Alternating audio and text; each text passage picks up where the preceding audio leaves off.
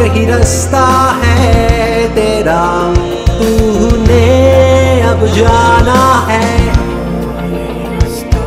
हाँ यही सपना है तेरा। तूने पहचाना है। तुझे अब ये दिखाना है। नमस्ते, चलिए क्लास नाइन्थ का। हिस्ट्री का चैप्टर फ़र्स्ट पढ़ते हैं। इस चैप्टर में मैंने पहले और दूसरे, तीसरे तीन पार्ट पहले से ही इस यूट्यूब चैनल पर डाल रखे हैं, है ना? उसी को मैं तीन पार्ट्स को ब्रीफली ब्रीफली नहीं, लेकिन बहुत शॉर्टली यहाँ पे समझा देता हूँ, तुरंत, है ना? उन्हीं तीन पार्ट्स को। चलिए, जो फ्रेंच रेवोल्यूशन हुआ था दोस्तों, उसी डेट मानी जाती है सेवनटीन एट्टी नाइन है ना? तो उसका पहले ओवरव्यू ले लेते हैं कि उसमें हुआ क्या था, है ना? कैसे हुआ था? देखो चौदह जुलाई सेवनटीन एटी नाइन को एक, जो है अलार्म बजा पूरे फ्रांस में या वहाँ पर। अलार्म बजा और एक, ऐसा हुआ अलार्म बज के राजमहल से आर्मी निकली और आर्मी निकल कर तेज़ी से शहरों की ओर, गाँवों की ओर जाने लगी। ये इंसिडेंट देखकर लोगों ने सोचा कि ये हो क्या रहा है? लग रहा है कि हमें मारा जाएगा, हमें निकाला जाएगा। तो एक अफवाह फैल गई। देखो दोस्तों, इस चैप्टर में अफवाह बहुत फैली है, इस फ्रेंच रेवोल्यूशन में। क्योंकि वहाँ पे कोई डायरेक्ट कनेक्शन नहीं था और वहाँ पर जो है कोई डायरेक्ट किंग का कम्युनिकेशन नहीं था वहाँ की जनता से। है ना? इसलिए रूमर फैल गया कि ये आर्मी में मारना ही है और सारे सात हज़ार औरत और औरतें इकट्ठा हुई और मिलिशिया बना दिया। मिलिशिया का मतलब होता है दोस्तों, एक आर्मी का रूप और हथियार के लिए जाने लगे, हथियार के लिए ढूँढने लगे के घरों में घुस गए, है ना, हथियारों के लिए। तो ऐसा हुआ फ्रेंच रेवोल्यूशन में। वहाँ पे एक राजमहल, एक किला था बेस्टाइल क्या नाम था बेस्टाइल। ये बेसिकली एक किला था जिसके अंदर जेल थी, यानी किले वाली जेल थी। इसमें लोग घुस गए और इसमें लोगों ने घुसकर क्या करा, उस किले को ढहा दिया, उस जेल को ढहा दिया। है ना ऐसा फ्रेंच ऑपरेशन हो रहा है, और वहाँ से जो एमोनिशंस थी, वहाँ से जो बंदूक के गोला बारूद थे, वो उठा लाए और वहाँ के सबसे पहले कमांडर को टपका दिया। कमांडर को खत्म कर दिया, क्योंकि वो कमांडर बहुत ज़्यादा अत्याचार करता था। और ये जो वेस्ट स्टाइल में कह रहा था दोस्तों वेस्ट स्टाइल ये बहुत बड़ा प्रतीक था कि उनके अत्याचारों का। तो इसलिए सबसे पहले लोगों ने कहा इसको ही ढाएँगे है ना? और पता इससे क्या करा? जब ये ढाया इसके टुकड़े टुकड़े मार्केट में बेच दिए गए। मतलब लोग बड़े चाव से खरीद रहे हैं इसके टुकड़े पे स्टाइल के। क्यों? क्योंकि एक प्रतीक है कि राजा का ऐसा अत्याचार हुआ करता था। सारे कोड़े वगैरह इसमें मारे जाते थे, समझ लो। टमाटर मारा, वहाँ से जो है जो प्रिजनर्स होते हैं, यानी जो जेल में बंद होते हैं अपराधी उनको निकाल दिया, क्योंकि वो है फ्रेंच रेवोल्यूशन जो कर रहे थे, है ना? फिर ऐसे शुरू होती है इसको तोड़कर फ्रेंच रेवोल्यूशन अब धीरे धीरे पूरे पेरिस में फ्रेंच रेवोल्यूशन के कारण या उसके लिए पूरे दंगे होने लग गए राइट्स होने लग गए, है ना? और गाँव के कोने कोने तक ही फैल गए कंट्री साइज़ पूरे फैल गए अब इसी को देखो, इसी को ऐसे हो रहा है फ्रेंच रेवोल्यूशन लेकिन अभी समझो ऐसा हुआ क्यों? भाई क्यों, क्या हुआ? था क्यों बजा? और क्यों सात हज़ार मैंने इकट्ठा हुए। सबसे पहले ये समझना होगा कि वहाँ पे मेन वजह क्या थी? मूल एक तरीके से कारण क्या था, है ना? देखो, वहाँ की सोसाइटी जो थी, जिसे हम ओल्ड रेजिम कहते हैं, क्या कहते हैं? ओल्ड रेजिम वहाँ की सोसाइटी कैसे थी? वहाँ की सोसाइटी तीन तरीके से बटी हुई थी clergy nobility and third state इसको ध्यान समझना दोस्तों। क्लर्जी जो थे, वो पंडित, पुजारी चर्च वाले हुआ करते थे। नोबिलिटी जो थे वहाँ के राजशाही यानी जो राजाओं के खानदान में, जो ऊपर वाले लोग हैं, वो हुआ करते थे। और थर्ड स्टेट जो माना गया है, वो जो काम कर रहे हैं, जो टैक्स दे रहे हैं, जो कोई रॉयल से नहीं राजशाही से नहीं जुड़े हुए, है ना? क्लर्जी और नोबिलिटी अब देखो, बात ये थी कि क्लर्जी नोबिलिटी टेन परसेंट थे, और ये जो थर्ड स्टेट वाले थे, नब्बे परसेंट थे। चलो, इतना तो ठीक है भाई, नहीं नब्बे परसेंट काम करेंगे, तभी तो पूरा देश जी पाएगा लेकिन दिक्कत की बात ये थी कि इन दस परसेंट के पास साठ परसेंट ज़मीन थी और इन नब्बे परसेंट के पास चालीस परसेंट ज़मीन थी। इसे कहते थे big difference between rich and poor है ना? अमीर अमीर हो रहा है और गरीब गरीब हो रहा है। दिक्कत की बात और ये हो गई कि क्लर्जी नोबिलिटी इन पर टैक्स लगा देते भर भर कर डार्क है ना? जैसे इन्हें टैक्स देना पड़ता है इस थर्ड स्टेट में हमें तीन स्टेट से दोस्तों, इसे नीचे समझा समझा समझना पहले वो जो ऑफिसर्स थे लॉयर थे बिजनेसमैन थे बड़े बड़े उनको कोई कमी नहीं थी। मतलब पहले स्टेट्स में भी बहुत अच्छी, खाली ठीक ठाक थे लोग। बस कहा जा रहा दूसरी स्टेट में वो यंग मिडल बस किसान हैं। ठीक है ठीक ठाक कमा रहे हैं ट्रेडर्स हैं। ठीक ठाक मॉडरेट ठीक है। थर्ड में भी बहुत, अब थर्ड देखो थर्ड के थर्ड में भी क्या दिक्कत हो गई? थर्ड के थर्ड में ये दिक्कत हो गई कि वहाँ के सबसे छोटे गरीब लैंडलेस लेबर जिनके पास ज़मीन नहीं है बंधुआ मजदूर, ये सारे इस वजह से थर्ड में। अब देखो तो दवा के टैक्स दे देंगे, पूरे थर्ड स्टेट पे टैक्स देना पड़ रहा था। फ़र्स्ट वाले तो दे देंगे, वो बिज़नेस मैन है ये सब। लेकिन थर्ड वाले के तो देंगे? इनके पास तो ना ज़मीन है, खाने के लाने पड़े हुए हैं। अब देखो ये टैक्स कैसे लगाते थे ये इन पे इतना टैक्स लगा थे कहते थे इसी की टैक्स से ये दोनों जिएँगे। ऊपर चिड़ी बैठा रहता था, ठीक है? ऊपर चिड़ी है, ये तीन को टैक्स देंगे, तीन इनको पालेगा। इनके पैसों से। और इतना ही काफ़ी नहीं था टैक्स दे रहे हैं भैया, इनकी खेती वेती खराब हो जाती थी बैटर जो मौसम था, बड़ा खराब चल रहा था उस समय। मौसम खराब नहीं होता तो शायद दे भी देते टैक्स लेकिन मौसम खराब था। ठीक है, कहता था कि मेरे को पैसे दो। और ऊपर से ये एनर्जी वाले, इन पे और टैक्स लगा देते कहते थे चर्च का भी एक टैक्स होता, उसका नाम था टेली टेली टैक्स दो बैंक का टैक्स उससे भी लगाते थे। इनसे नहीं मांग रहा इनसे नहीं मांग रहा इनसे मांग। रहा और एक और लगा देता तबैको पे। तबैको पे भी टैक्स लगा देता चर्च और सैलड पे ना टैक्स लगा देता इतना मार मार के इस पर थर्ड स्टेट में टैक्स लगा दिया और ये फुल हो गया। इतना टैक्स कैसे दे देंगे जब इन्हें खाने के लाने पड़े हुए हैं, ऊपर तो बैड वेदर है है ना? क्राइसिस क्यों हुआ? क्राइसिस इसलिए हुआ क्योंकि वहाँ की एक तो पॉपुलेशन बढ़ रही थी, मूल कारण। भाई, तेईस मिलियन थे। तेईस मिलियन से अट्ठाईस मिलियन हो गए कुछ सालों में। अट्ठाईस मिलियन हो गए। अब इससे क्या हुआ? जब उनकी पॉपुलेशन बढ़ गई, उनकी मांग बढ़ेगी इकोनॉमी बड़ी होगी। मांग बढ़ेगी तो उन्हें ज़्यादा खाना चाहिए लेकिन बैड वेदर से खाना बन नहीं रहता। खाना बच नहीं रहता ज़्यादा, और वहाँ पे अकाल पड़ गया, कमी पड़ गई, और जब फेट की कमी पड़ती है ना, सबसे बड़ा रेवोल्यूशन तब होता है।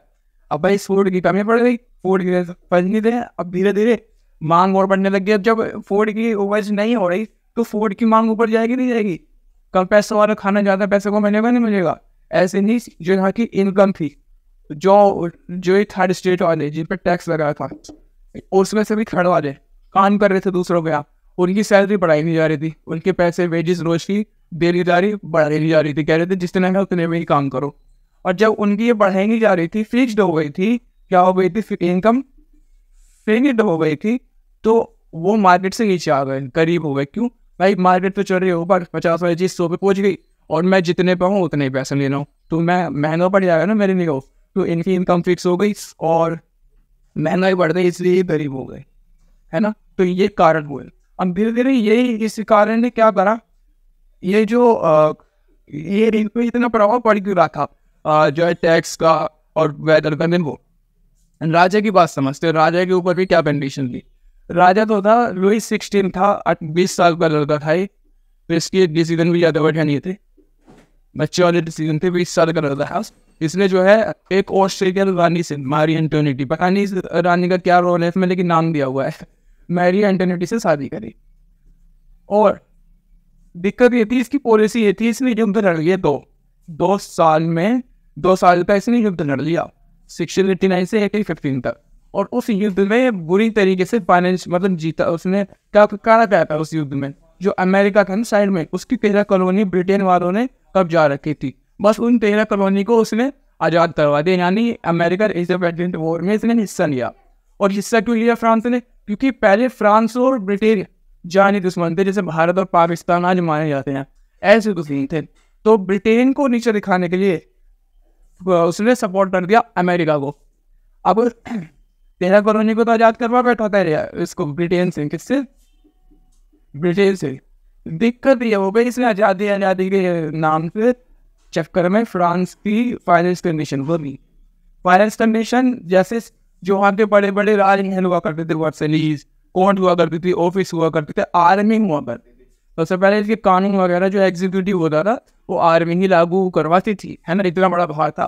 उनकी सारी फ़ीस देने में कमी आने लग गई उनकी सैलरी देने में कमी आने लग। गई क्यों? क्योंकि भैया पैसा नहीं आ रहा, दो साल में क्या गवाया इन्होंने? दो साल में गरीबों के बैठ गए हैं, है ना? तीन बिलियन का डेप्ट चढ़ गया उनके पास। तीन या दो बिलियन का करेक्टली फाइव लोन इतने का डेप्ट चढ़ गया मतलब इतने का कर्जा हो गया। इनका कर्जा बड़ी बुरी चीज़ होती है। और इन्होंने क्या किया अपने यहाँ के जो ये बिजनेसमैन थे थर्ड स्टेट वाले बिजनेसमैन नोबेलिटी या इनसे जो बिजनेसमैन थे, इन पे पैसा था। क्योंकि ये जो ऊपर वाले थे बिजनेसमैन ये तो दबा पे पैसा कमाते थे टैक्स कुछ ही पसंद देते थे। बाहर नीचे वालों को पड़ता था नहीं टैक्स दे नहीं पाते थे। खेत खेती वगैरह करते थे, है ना? तो इनसे कर्ज लेने लग गया ये जो राजा। कि भाई, तुम तो इतने पैसे हैं, मेरे को कर्ज दे दो, मेरे ये चल नहीं रहा है, राज्य। तो कर्ज देने लग गया और कर्ज के भी इन्होंने दस दस परसेंट टैक्स लगाने लगे। ये इतना इन्होंने विदेश में ट्रेडर्स को कर्ज दिया ना, दस परसेंट उस पर टैक्स लगाने लग गए। टैक्स से हुआ क्या कि जो राजा की इनकम हुआ करती थी इनसे हर स्टेट वालों से, वो सारी इस इंटरेस्ट को छुपाने में जाती थी। फ्रांस की कुछ उन्नति हो नहीं रही थी।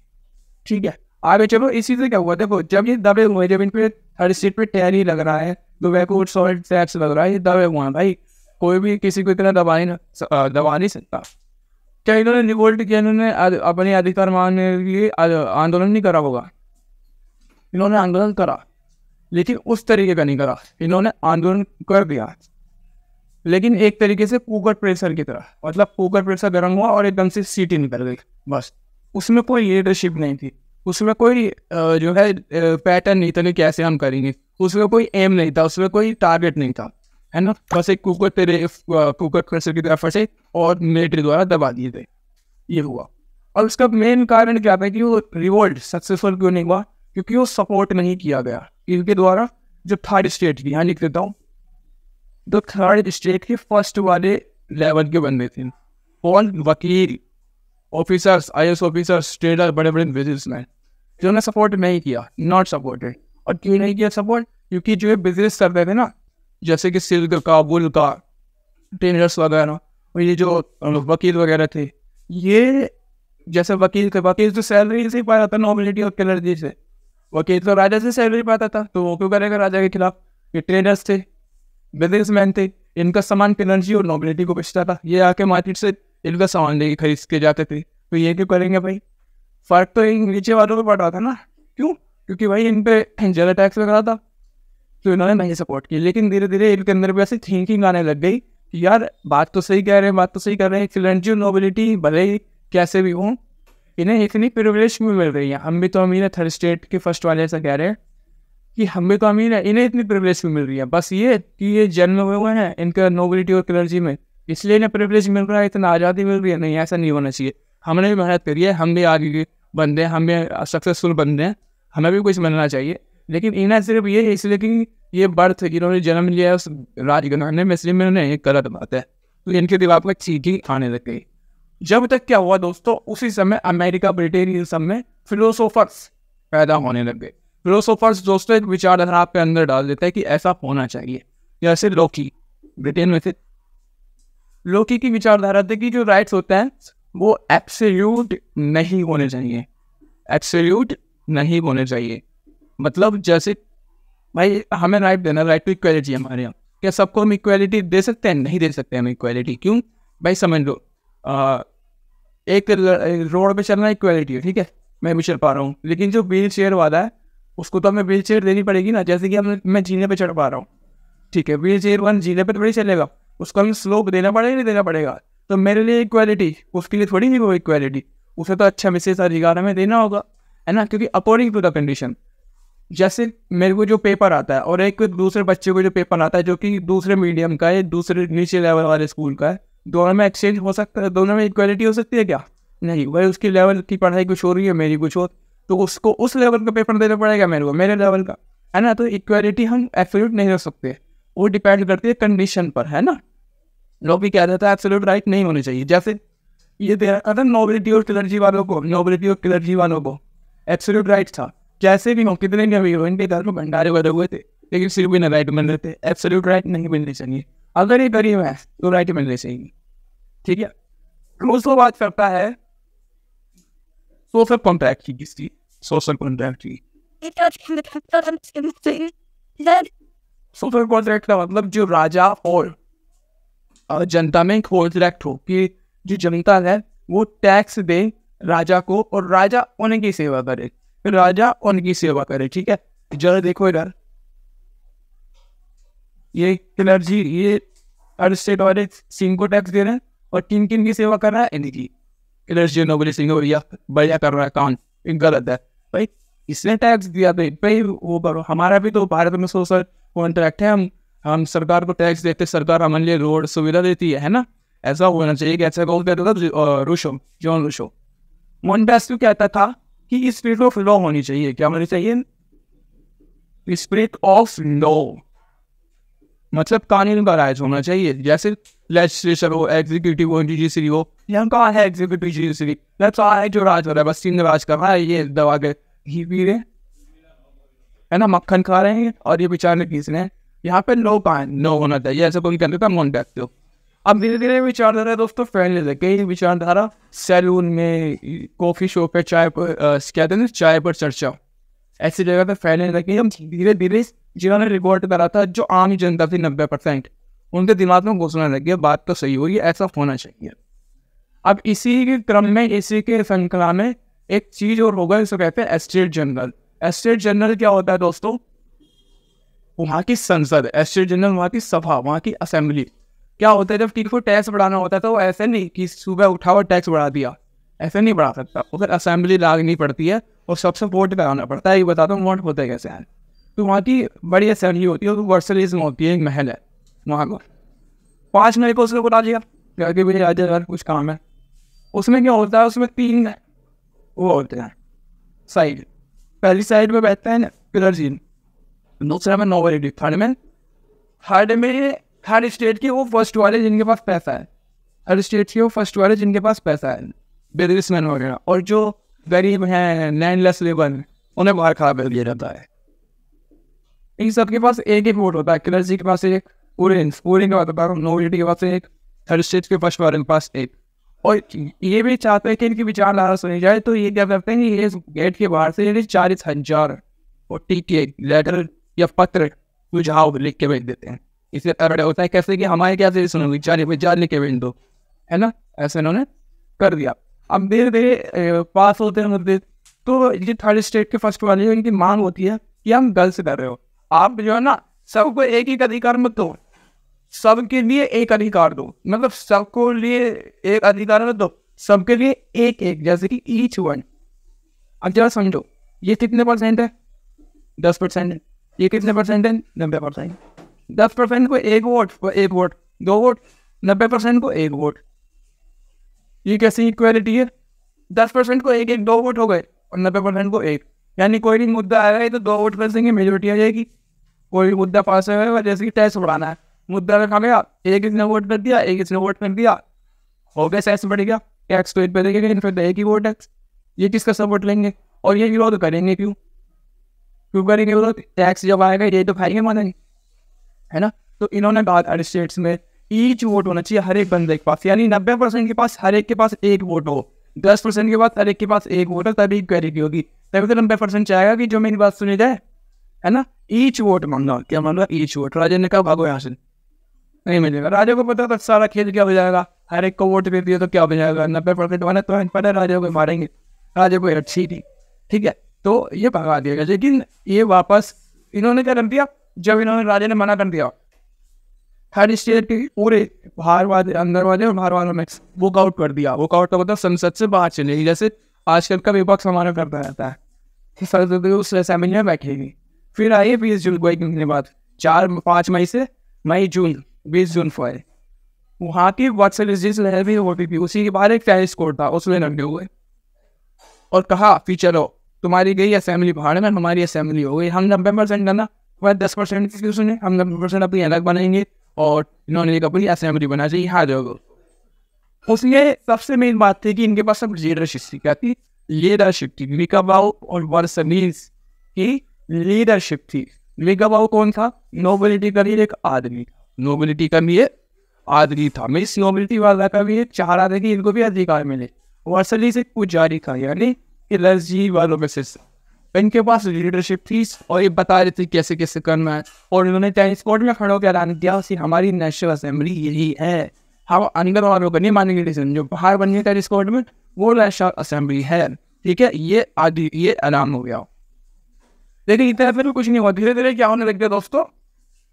खराब मौसम हो गया। खराब मौसम ने बड़ा इनका कमर तोड़ी है। खराब मौसम हो गया और वहाँ पे गान पड़ गया मतलब भुखमरी पड़ गई। वहाँ की औरतों ने क्या करा वहाँ की औरतों ने भी भुखमरी प्राइस बढ़ गए थे ब्रेड वगैरह ब्रेड वगैरह ही खाते थे। वहाँ की औरतें इकट्ठा हुई हज़ारों की संख्या में, और वहाँ की दुकानों में घुस घुस के खाना लेके आई। दुकानों में घुस घुस कर खाना लेके आई। देखो वुमेन ने कितना बड़ा रोल निभाया, अभी आगे जाके पढ़ेंगे।